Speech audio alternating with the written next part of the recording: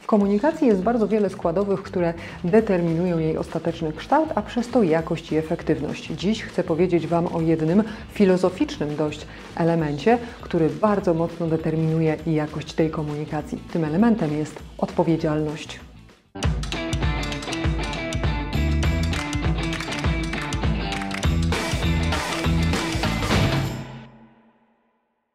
Dzień dobry, witam Was jak zwykle bardzo gorąco i serdecznie. Temat dzisiaj trochę poważny, bo będziemy sobie mówić o komunikacji odpowiedzialnej.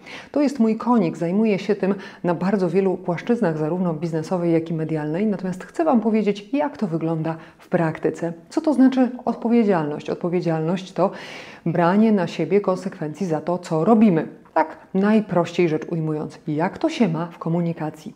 Otóż pierwsza podstawowa rzecz – Bądź odpowiedzialny za to, co mówisz. To znaczy, zanim coś powiesz, zastanów się, jakie to będzie miało konsekwencje, jakie będzie wywierało konsekwencje w stosunku do drugiej strony, czyli do tej osoby albo do tych osób, do których się zwracasz i czy to jest na pewno taka konsekwencja, na jakiej ci zależy. Pamiętaj o pierwszym prawie komunikacji, które mówi, że cała odpowiedzialność za proces komunikacyjny spoczywa na nadawcy a więc nie możesz powiedzieć, oni mnie źle zrozumieli albo oni mnie nie słuchają, bo widocznie komunikat nie był właściwie dostosowany i właściwie przygotowany dla osób, które są po drugiej stronie.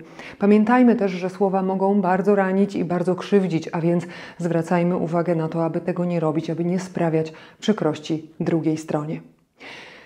Pamiętaj też o tym, co piszesz publikujesz, na przykład w internecie.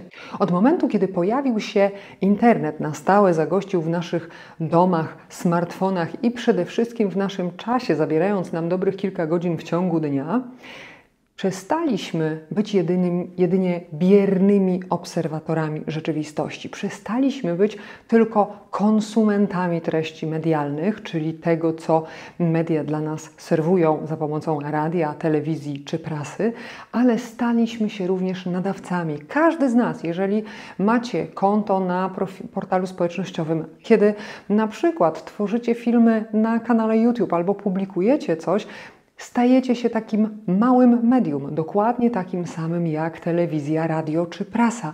Inni ludzie Was czytają i oglądają, macie wpływ.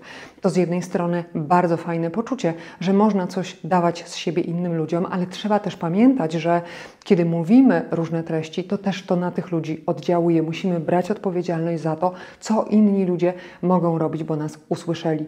Stąd standardy społeczności w różnych portalach społecznościowych, gdzie trzeba zapobiegać temu, aby na przykład nie szerzyć agresji czy różnych e, terrorystycznych zachowań. Tak więc, zanim coś opublikujecie na przysłowiowym Facebooku, zastanówcie się, jakie to ma oddziaływanie, czy to może krzywdzić albo wpływać jakoś negatywnie na innych ludzi.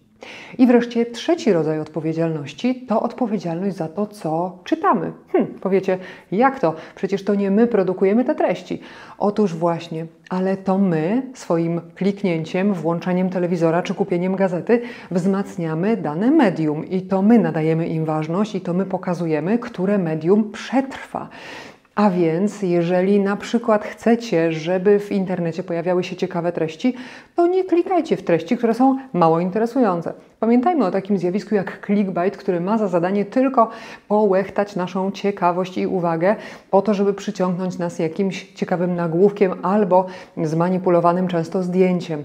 Wchodzimy w taki artykuł, Nabijamy zasięgi komuś, kto go stworzył, a nie ma w tym żadnej treści.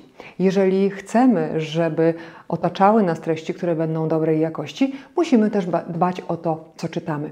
Dokładnie to samo jest w relacjach międzyludzkich i dokładnie to samo jest w komunikacji międzyludzkiej. Jeżeli chcemy komunikować się na wysokim poziomie, po prostu musimy zacząć to robić. Nie możemy oczekiwać, że ktoś zacznie za nas.